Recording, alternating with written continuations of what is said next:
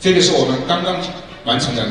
这个上个月刚刚呃运到北京的这个新冠病毒快速检测的这个移动实验室。那么在这个实验室上面呢，我们配配备了几样硬核技术。第一个呢，就是采样，不用人，用机器人来采样。从我们这个左边打开的车车窗窗口啊，机械手会伸出来，然后人只要需要站在这个窗口，那么我们的这个咽拭子就会被自动采集进去。进去之后呢，这个我们呃有快速的病毒灭活仪啊，然后呢，最后呢就是这个呃刚才说的这个芯片的实验室。它，完成快速的这个检测。那么检测完的结果呢？通过五 G 的这个通讯系统，啊，